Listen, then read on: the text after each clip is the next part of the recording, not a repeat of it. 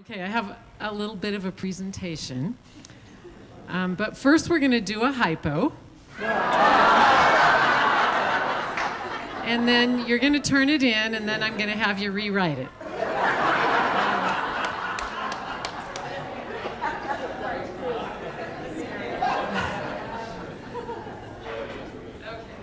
So let's hope this.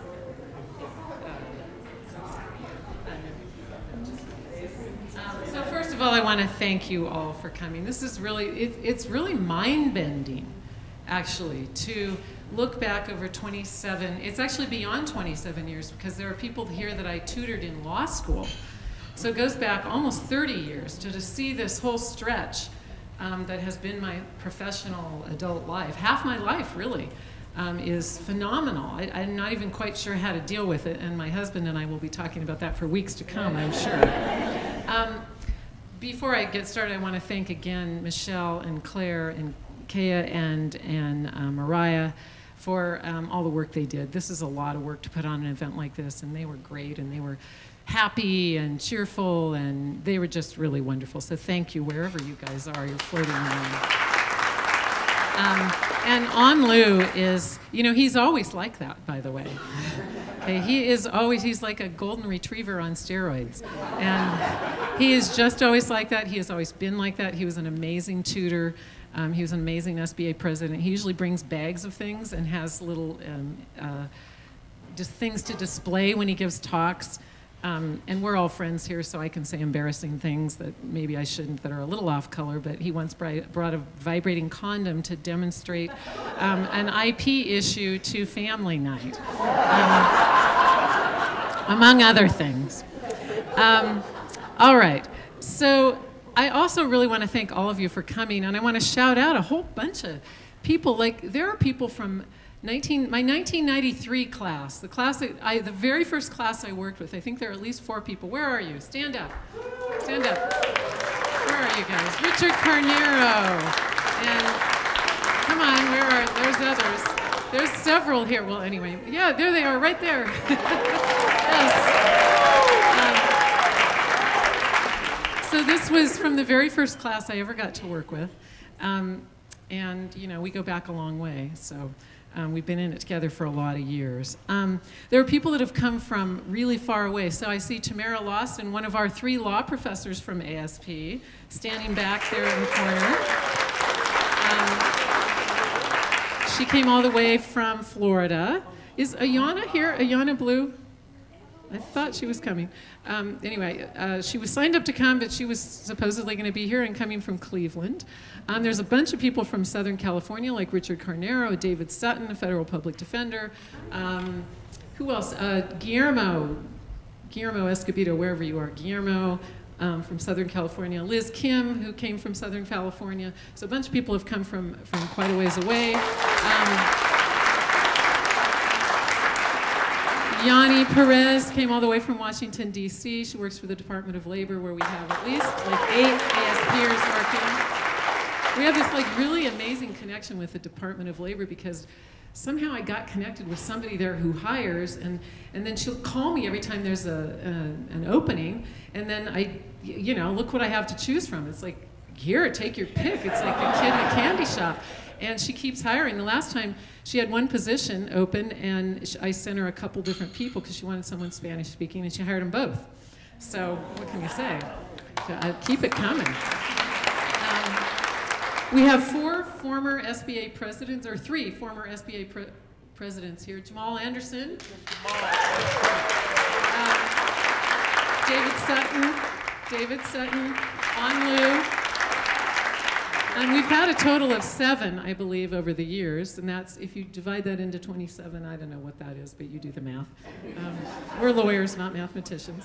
Um, uh, let's see, what else do we have? How many people were former tutors in ASP? Those of you that were tutors. Look at that. Just look around.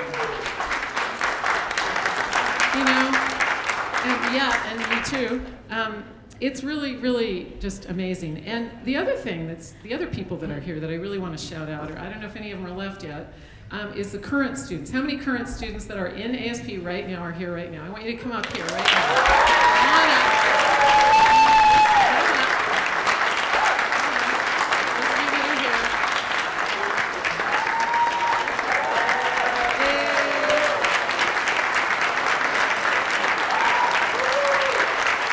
Anybody else?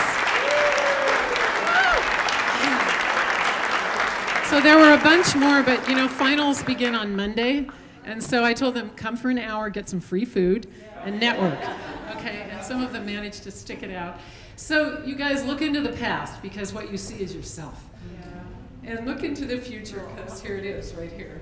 So in the past hundred days, we've been pretty scared. I'm still pretty scared, but I look here and it gives me great hope. Um, so, you know, wonderful. And this is the reason to donate if you haven't donated yet. Tuition is way more than it was in your day. So um, um, I hope that they will continue to inspire you. There's been a lot of um, uh, student profiles on the Facebook and on the emails that are going out, and they're all just tremendous people. But there are, you know, for every one that you see, there's, you know, 20 more. So um, they really are our future, and um, I hope that you guys will continue to support them as you have in past years. So thank you.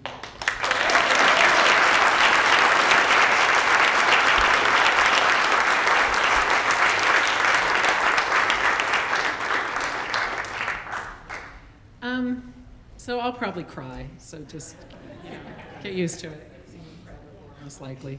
Um, I want to thank the dean, John Trasvina. He's been incredibly supportive of ASP in the way no other dean has, and I've never had a dean that wasn't supportive.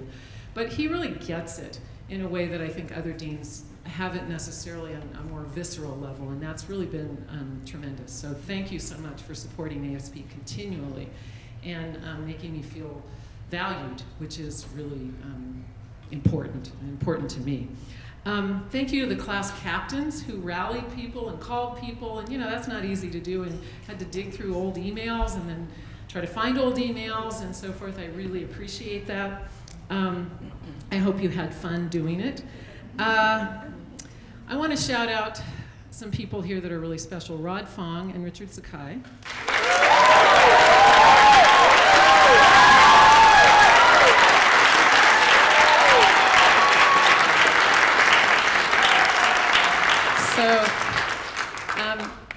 You know, some of you know one, some of you know the other, some of you know both of them. But uh, together, we have been doing academic support together at USF for the last, um, the three of us, for the last like five years, four or five years. And um, Richard and I have been together at USF.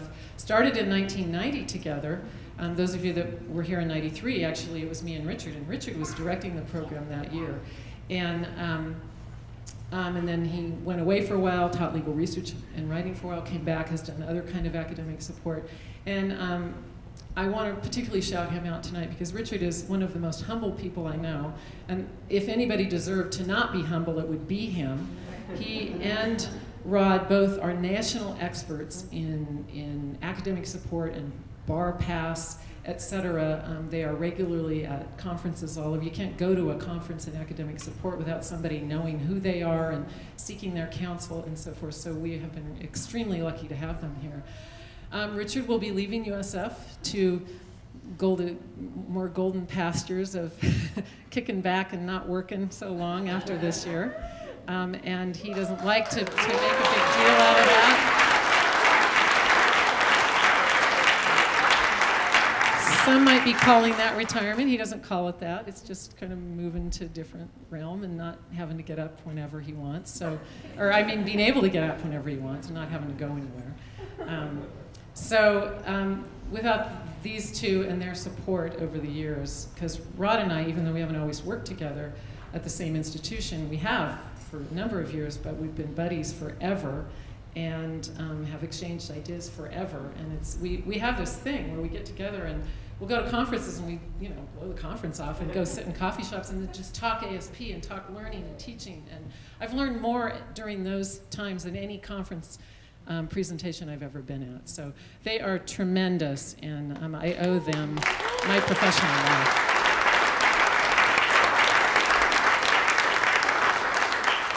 Heidi Ho, who is now the assistant director of ASP. She's actually the director, and I'm the assistant director, and I just do what she tells me to do. Um, she is from the class of 97. She was in ASP herself, and I fully expect her to take it over when I retire in three to five years. Not quite yet. um, and she has just been amazing and tremendous, and I love her. And she comes to it with love and her heart and her own creative juices at a time when you know, I'm getting a little up there in the years, and it's, you know, sometimes hard to read those essays, and Heidi is right there with me. Um, so it's been, it's really been amazing. Um, okay. So um, I want to I want to acknowledge um, some people upon whom ASP was built. So ASP goes back a long, long way.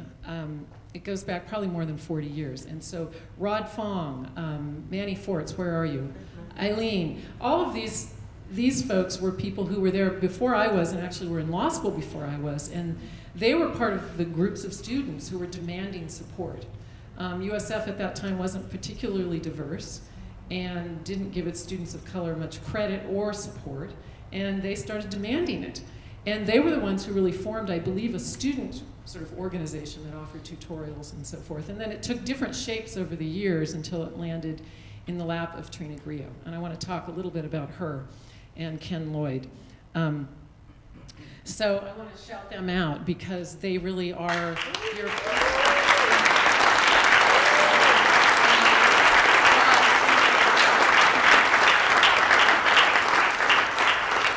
because they are your history and um, your aunts and uncles and grandparents or whatever you want to call it.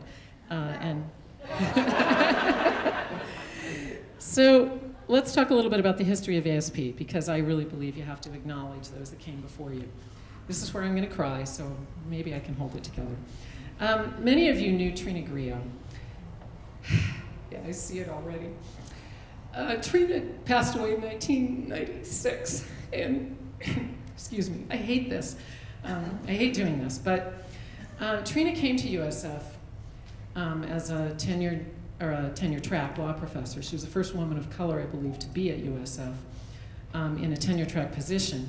And she was brilliant, she was wonderful, and she was really interesting. Her mother was Italian, her father was Cuban black, and she identified Latino and African American and feminist, and she had lots of identities, and she was really, um, really a complex person and so relatable. It was just unbelievable. It was really the first law professor that I felt like I could just talk to and just be a regular person with. And she, she everybody loved her. I took, um, uh, I had, God, I can't mediation from her, which was a great class, and um, con law as well. Um, but she was also handed the academic support program. And, you know, to teach two full-time to be a full-time law professor and teach two classes is a tall order. Plus, she was researching, and to also have to run a program is almost too much. And she was sort of, you know, not that happy about it. I think when she first got it, but she believed in the mission of it. She just thought it was going to be too much. But it turned out she really loved it, and she loved it more than anything else. But it wasn't working all that well. There were way too many students in it.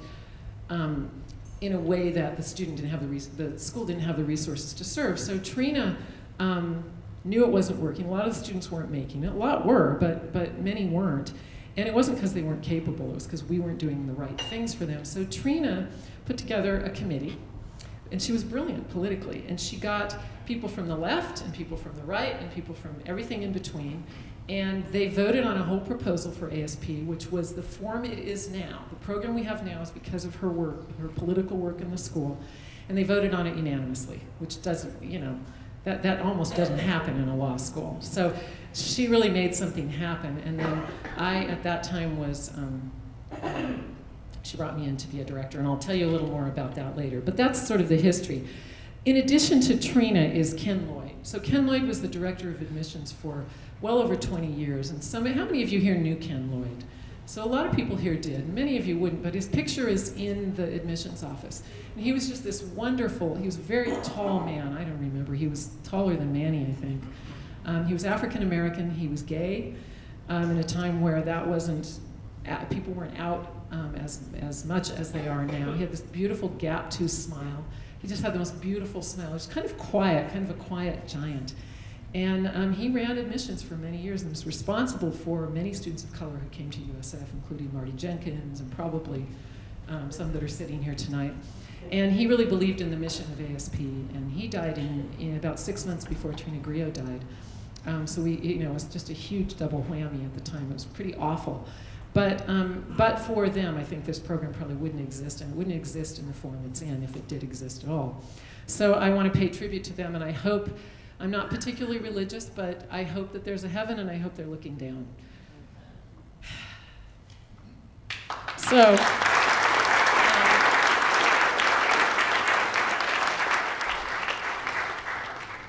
I always feel like Trina handed me a precious child, and that my job has been to protect that child. Um, Richard often talks about ASP as protecting the baby, and I, I think that really is akin to what um, Trina did, is she created this thing, and then she sort of let, let it go and let, push me into it.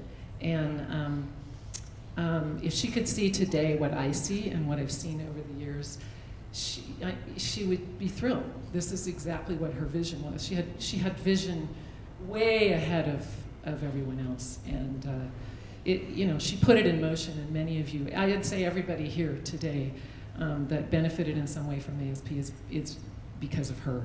You know, I was the, I got the marching orders, but she's the one, she was the general that made it happen.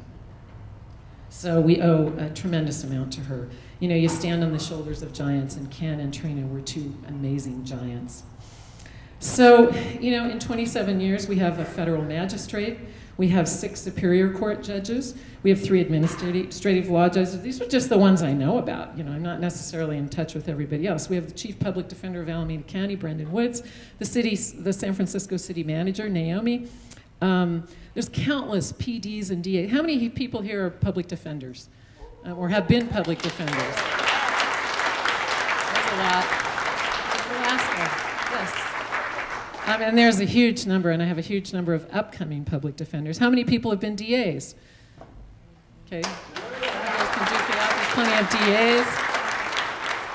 Um, we have three law professors, Tamara, who I introduced earlier. There's um, Ifeoma Ajunwa, who I believe just got a job at Cornell. Is that, if I'm hearing right? Um, she was at UDC, University of District of Columbia. And now she's apparently the hottest ticket around the country and is going to be teaching contracts. She had contracts from Garvey. She was his tutor. She is now teaching contracts. Excuse me. Um, um, and she'll be at a major um, law school in the country. And most recently, Ronnie Gibson, who will be teaching at La Verne University School of Law, or La Verne School of Law in Southern California. So three law professors. There are at least eight former ASPers at the Department of Labor. There are countless partners in law firms, countless sole practitioners. Um, Burks, who's here, works at the Department of Education. Um, there are people in public interest. There's partners. There's people in big law, people in you know intellectual property, um, every conceivable area of law. I could go on and on and on. I can't shout at every single thing, but you know, the array is amazing, and that's exactly how it should be. That's how it should always have been. And Trina's vision helped to make that happen. So we look out, and what we see is amazing. Um, I want to show you a picture here. This is um, two former ASPers, Will Lane and um, Rick Owens. And, uh, okay, well, this is not moot court. This is well after they graduated, passed the bar. Um, Will Lane is a DA in Alameda County. Um, Rick Owens is a PD in Alameda County. And um, both were in ASP. In fact, I think Rick was Will's um, crim tutor, if I'm not mistaken. Um, so they happen to be assigned to the same case. But what's even more beautiful is the person that took the picture is Ursula Dixon, who is from the class of 90, what year, seven, five? Five, 95, I think. 90, anyway, 90 something. Um, she's an African American woman. Um, she is a Superior Court judge in Alameda County. And it was the three of them, that triangle. Um,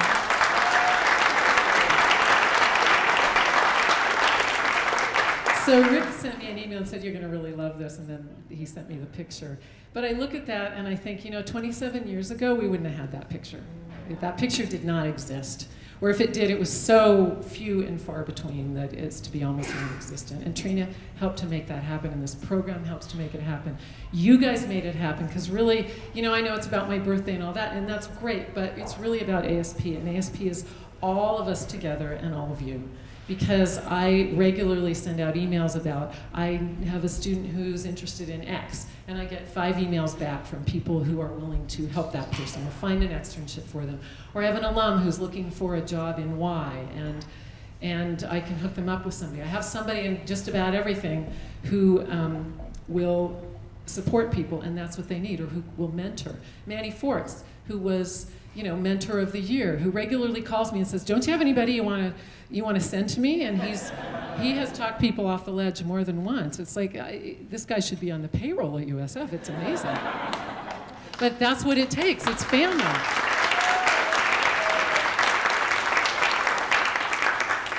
So we are ASP Strong. We are amazing, and we built this network. And you know, you think about people who grew up in families with generations of lawyers and so forth, that's what they have, right? And there's nothing wrong with it per se, but not everybody gets that. And so now we have it too. We built our own.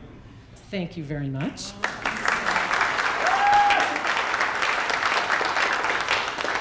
So I've been incredibly lucky all these years because I'm the only person I know who has been in the same job for 27 years and who loves it. and um, it feeds my soul in a way that I don't think anything else could have. I get to work with people who are brilliant and wonderful and interesting and who are very different than me. You know, I'm a skinny white girl from Roseburg, Oregon. and uh, the town I grew up in was all white. There was one black family as I was growing up. So I grew up in a place that had no diversity, no real awareness. And, you know, I can tell you, well, I can tell you stories I'm sure you would believe, but things that I look back on that horrify me now about things people would say that, you know, I just was so unaware. And what you've done is educated me. You have turned me into something that I wasn't, I didn't start out to be. Um, and taught me all about white privilege and its power. And for that, I am eternally grateful. And I learn every day. I learn about myself. Um, I learn about the world, and I learn to look at it through your eyes. And I don't think that could have ever happened any other way. And I've learned far more from you and you IRAC is an easy thing to teach. This is not so much. That's an insider joke. Okay. So, okay, so I prepared a little bit of a presentation um, about how I got here. So how did I arrive in this job and at law school and all of that? And so let's go back a few years. Um, Frank and Winnie, that's mom and dad. Uh, um, they were a bit younger then. My dad passed away 15 years ago. My mom is 88 just celebrated her 88th birthday, and she's still going strong. She was just down here, and a lot of my students got to meet her, which was great. Um, and they gave birth to Joe, Marcia, and Carol. I'm the one in the middle. so, quite clearly, I was the baby. Um, also, uh, sometimes referred to as the accident.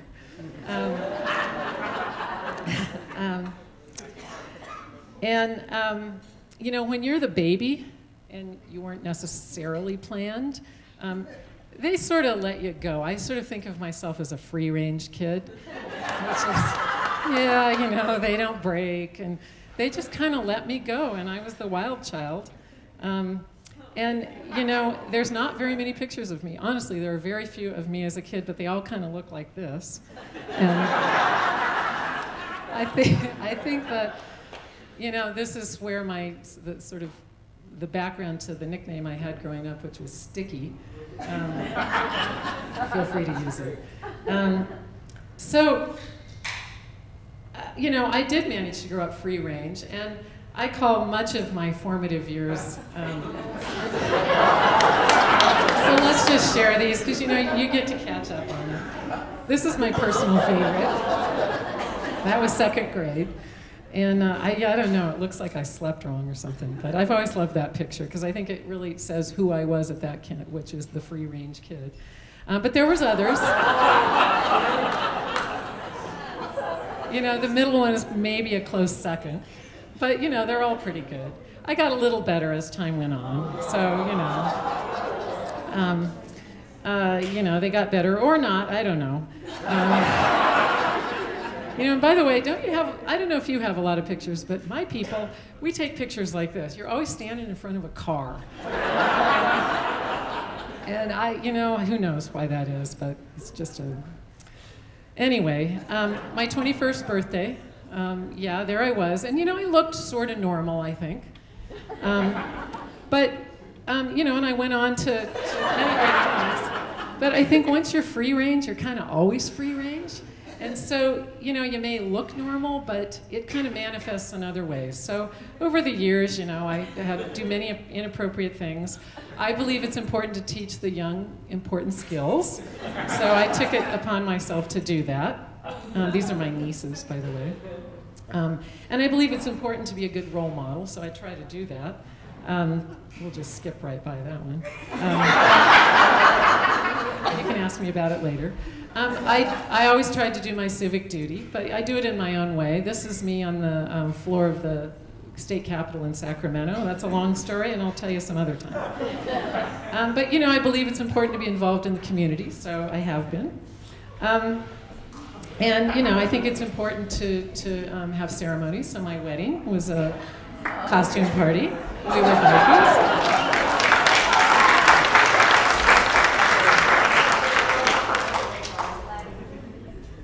You know, I've always, always um, liked to take care of people. And I didn't have children, um, not that I gave birth to anyway, but I got kind of a room full of them here. And all my friends had kids, as you can see. So I got an armload of babies in that one. Um, um so, um, and I like the animals too. So I like to take care of things and I like to take care of people. So even though um, I would like to say that I went to law school because I was motivated by a sense of justice and the wrongness in the world. Um, I'd be less than honest if I said that. I went to law school because I had a bad breakup. My neighbor was going to law school I was bored with my job. All right? so I didn't go for any particularly good reason, but I think when you're free range, you find your way to the right thing. And while I was in law school, there was one thing that really stood out. I did a lot in the sort of straight line things. I went to law review, and you know, I, I got good grades, and um, I interviewed to be one of the editor positions for law review, and I really thought I was going to get it, and I didn't get it, and I was really pissed off. And what I wound up doing instead was being a tutor in the academic support program for Trina Grillo.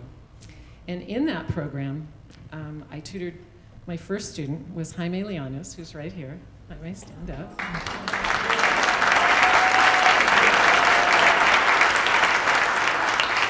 And um, Jaime was had a, not a particularly good first semester, so I got called in to be the tutor, but he had a really great second semester, and I got a lot of credit for that.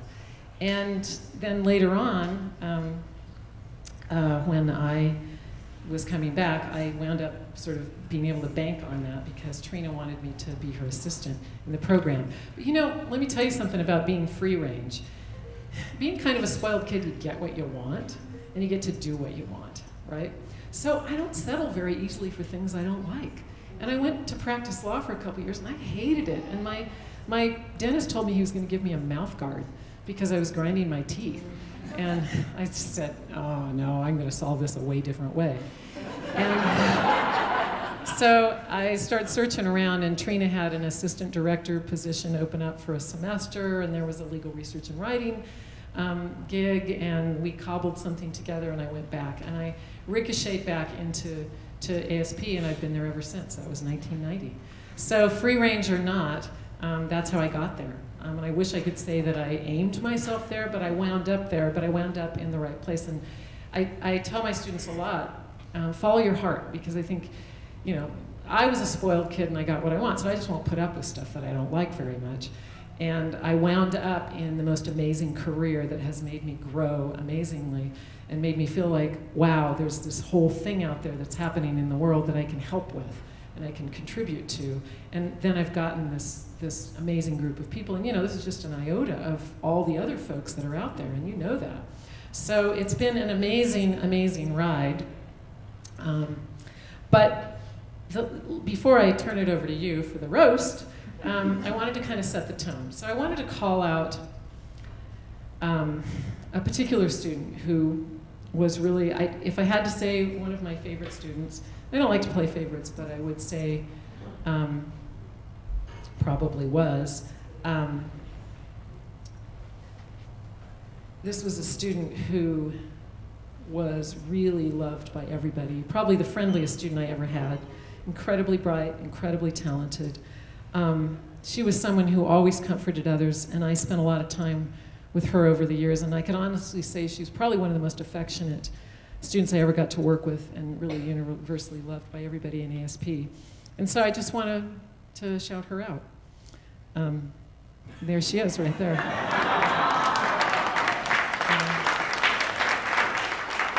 Some of you know who this is. This is Carrie Sandoval. Jesse, are you still here? Where's Jesse? There's Jesse. So this was Jesse's service dog while she was in law school, and she came to law school every day. And I would often see Jesse out talking to a student, and um, somebody would be down with their arms around the dog, just hugging them. I saw somebody kiss the dog once. I started telling her that she needed to, to start charging a dollar every time somebody. Anyway, um, Carrie was one of the most loved law students um, we ever had. And so, with that, um, roast away, my friends.